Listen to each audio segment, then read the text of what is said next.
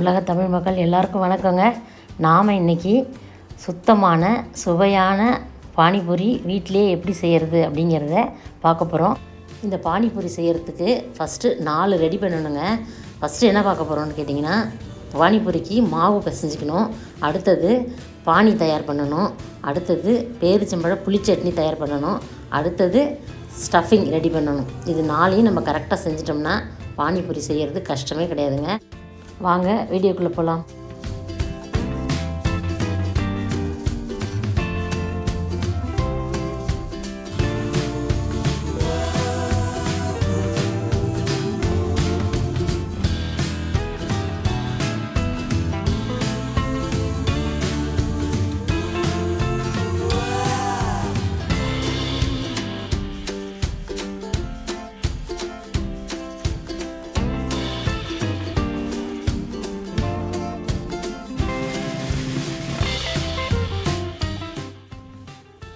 First நம்ம பானிபூரிக்கு எப்படி பூரி பண்ணலாங்கிறத நம்ம பார்க்கலாம். ரெண்டு கப்பு ரவா எடுத்துக்கோங்க. அதை வறுக்கலாம் கூடாது. பச்சையான ரவா எடுத்துக்கோங்க.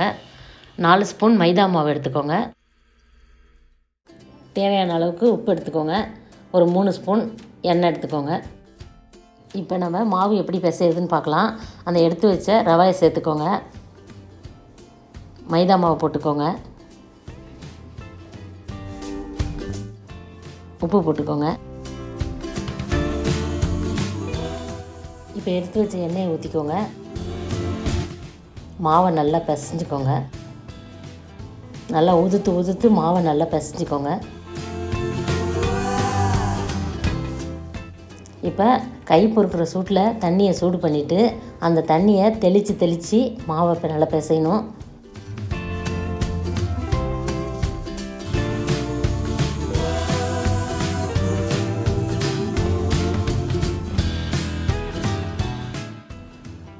வந்து தனித்தனியாக இருக்கிற மாதிரி இருக்கும். நம்ம கையை வச்சு அழுத்தி அழுத்தி பிசைய பிசைய தான் மாவு நல்லா சேர்ந்த மாதிரி வரும். நல்லா அழுத்தி அழுத்தி ஒரு அஞ்சு ஆறு நிமிஷம் நல்லா அழுத்தி அழுத்தி நல்லா மாவை பிசைங்க. இப்போ மாவு நல்லா பிசைஞ்சாச்சு.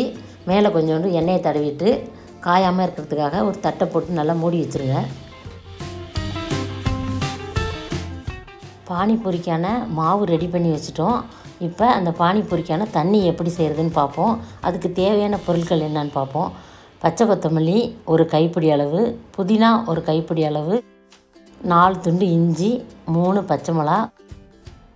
கொஞ்சம் மாங்காய் எடுத்துக்கோங்க. மாங்காய் சேர்க்கக்குள்ளே அந்த பானி வந்து நல்லா சுவையாக இருக்கும். புளிப்புக்காக ஒன்றரை மூடி எலுமிச்சம்பழம் நான் எடுத்திருக்கேன். தேவையான அளவு உப்பு. மிதமான தீயில் வறுத்து பொடி செய்த ஜீரகத்தூள் இதை வந்து நம்ம பானியில் சேர்க்குறப்ப நல்ல ஒரு வாசனை இருக்கும். சாட் மசாலா இது எல்லா மளிகை கடையிலையுமே கிடைக்கும். இதில் ஒரு புளிப்பு சுவை இருக்கிறதுனால நம்ம இதில் சேர்த்துக்கிறோம். காரத்துக்காக மிளகாய்த்தூள் சேர்த்துக்கிறோம். இனிப்பு சுவைக்காக வெல்லம் ஒரு துண்டு எடுத்துப்போம். இப்போ இது எல்லாத்தையுமே மிக்சியில் போட்டு நல்லா நைஸாக அரைச்சிக்கணும். குறை குறைன்னு அரைக்கக்கூடாது. நல்லா நைஸாக அரைச்சிக்கணும். இப்போ அரைச்ச விழுது இப்படி தான் இருக்கும். இதை வந்து ஒரு பாத்திரத்தில் வடிகட்டியை வச்சு நல்லா வடிகட்டிக்கலாம்.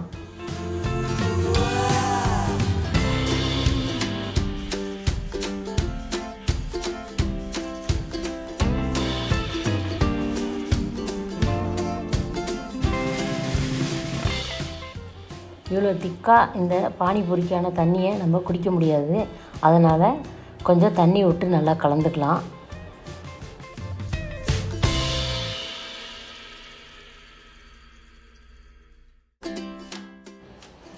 இந்த வடிகட்டின தண்ணியில் இப்போ நம்ம எடுத்து வச்சு எலுமிச்சம்பழத்தை புழிஞ்சிக்கலாம். நம்ம முன்னாடியே இந்த எலுமிச்சம்பழத்தை புழிஞ்சி மிக்சியில் அரைக்கக்கூடாது கசந்து போயிடும்.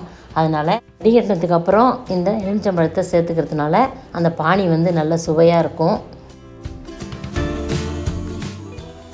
இப்போ ஜீரகத்தூள் சேர்த்துக்கலாம். சாட் மசாலா சேர்த்துக்கலாம்.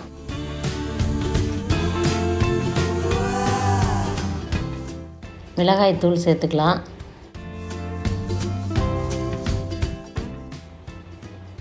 இப்போ இதை நல்லா கலக்கிக்கோங்க. இந்த பானி தண்ணி குடிக்கிறதுக்கு ரொம்பவே நல்லா இருக்குங்க. இதில் எல்லா சுவையும் இருக்கிறதுனால இந்த பானி தண்ணி குழந்தைங்களுக்கெலாம் ரொம்ப பிடிக்கும். இப்போ இந்த பானிபூரிக்கான தண்ணியை எடுத்து அப்படியே ஃப்ரிட்ஜில் வச்சிடலாம். ஜெல்லுன்னு இருந்து நம்ம சாப்பிட்றப்ப தான் இது ரொம்ப நல்லாயிருக்கும் அடுத்தது பேரிச்சம்பழ புளி சட்னி எப்படி செய்யலான்னு பார்க்கலாம். அதுக்கு தேவையான பொருட்கள் புளி ஒரு எலுமிச்சம்பழம் அளவுக்கு புளி எடுத்து தண்ணியில் ஊற வச்சுக்கோங்க. பேரிச்சம்பழம் எடுத்துக்கோங்க. அடுத்து கொஞ்சம் காஞ்ச திராட்சை எடுத்துக்கோங்க. மிளகாய்த்தூள் சாட் மசாலா ஜீரகத்தூள் கொஞ்சோண்டு வெல்லம். இவ்வளோ தான் இதுக்கு தேவையான பொருட்கள். இப்போ இதை நல்லா ஒரு மிக்ஸி ஜாரில் போட்டு நல்லா நைஸாக அரைச்சிக்கோங்க. ரொம்ப கெட்டியாக இருந்ததுன்னா கொஞ்சம் தண்ணி விட்டு சட்னி பதத்தில் இதை அரைச்சிக்கோங்க. பாருங்கள் நாம் பண்ணின பேரிச்சம்பழ புளி சட்னி எவ்வளோ அழகாக கலர்ஃபுல்லாக ரெடி ஆகிருக்கு இதில் வந்து புளிப்பு சுவையும் இனிப்பு சுவையும் இருக்கிறதுனால இதை வந்து கட்டா மிட்டா சட்னி அப்படின்னு வடநாட்டில் சொல்லுவாங்க.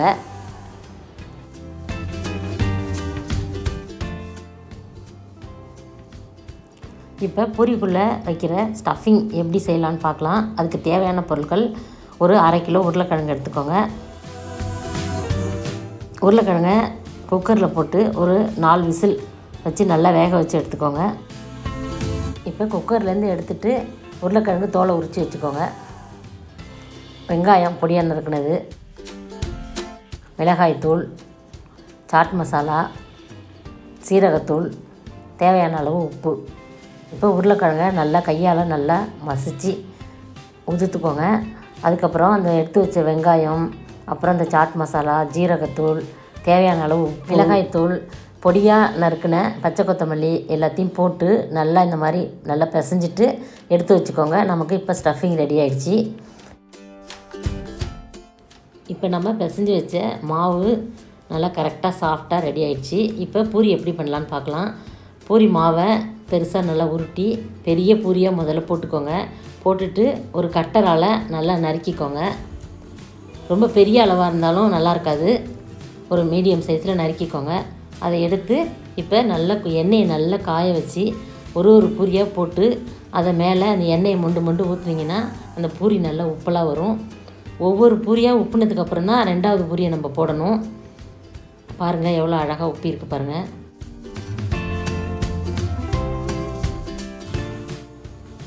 ஒரு பக்கம் நல்லா வெந்தோடனே மறுபடியும் பூரியை திருப்பி விடுங்க.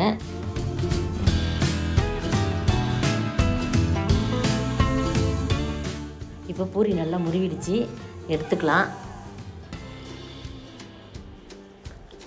செவக்காமல் நம்ம பூரி எடுத்துட்டோம்னா பூரி வந்து சாஃப்டாகிடும் நல்லா முருவலாக செவந்த கோல்டன் ப்ரௌனில் பூரி கலர் மாறினோன்னே எடுத்துருங்க.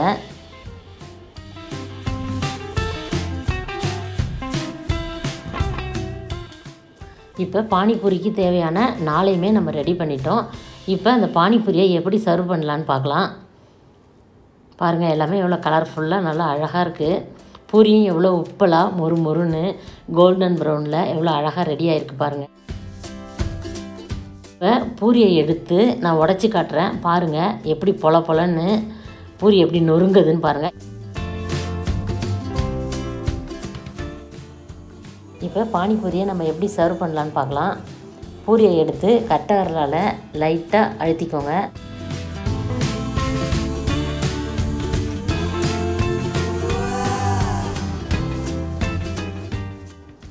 இப்போ அது உள்ள ஸ்டஃபிங் ரெடி பண்ணி வச்சுருந்தோம் இல்லையா உருளைக்கிழங்கு. அதை கொஞ்சம் கொஞ்சம் உள்ளே போட்டுக்கோங்க.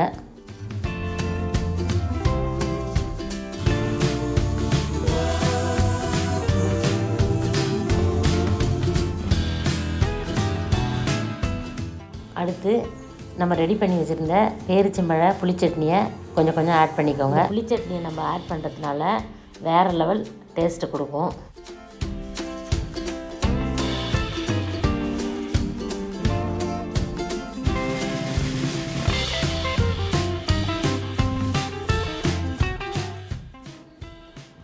அடுத்து நம்ம பொடியாக நறுக்கி வச்ச வெங்காயத்தை கொஞ்சம் கொஞ்சம் ஆட் பண்ணிக்கலாம்.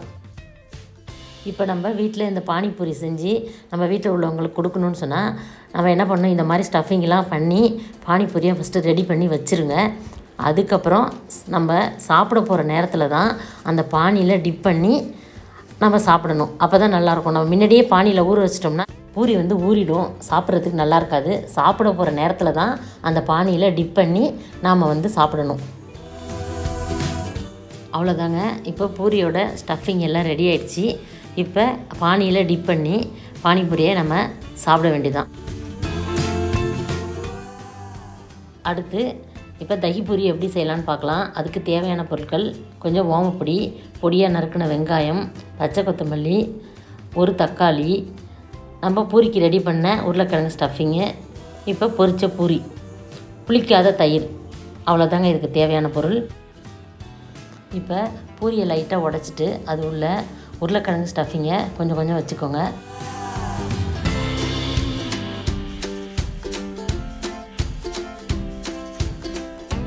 அடுத்து கொஞ்சம் கொஞ்சம் தக்காளியை வச்சுக்கோங்க.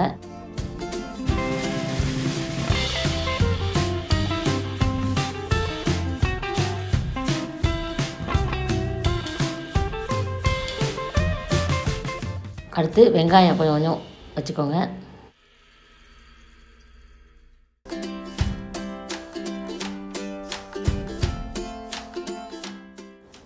இப்போ தகி பூரிக்கான ஸ்டஃபிங் ரெடி ஆயிடுச்சு. இப்போ தயிரை கொஞ்சம் கொஞ்சம் அதில் விட்டுக்கலாம். தயிர் வந்து புளிக்காத தயிராக இருக்கணும். அப்போ தான் நம்ம சாப்பிட்றதுக்கு நல்லாயிருக்கும்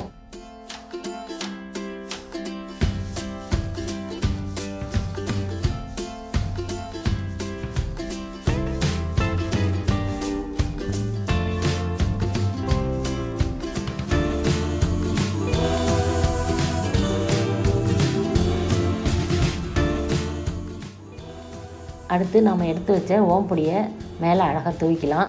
அது சாப்பிட்றதுக்கு நல்லா கிரன்ச்சியாக இருக்கும்.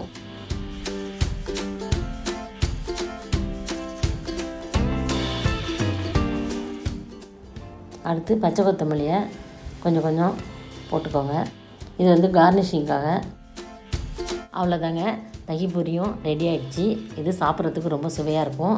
நான் இன்றைக்கி செஞ்ச பானிபூரியையும் தகி பூரியையும் நீங்களும் வீட்டில் ட்ரை பண்ணி பாருங்கள் எப்படி இருந்ததுன்னு எங்களுக்கு கமெண்ட் பண்ணுங்கள் ஷேர் பண்ணுங்கள் லைக் பண்ணுங்கள் கண்டிப்பாக சப்ஸ்கிரைப் பண்ணுங்கள் இன்னொரு வீடியோவில் சந்திக்கலாம். தேங்க்யூ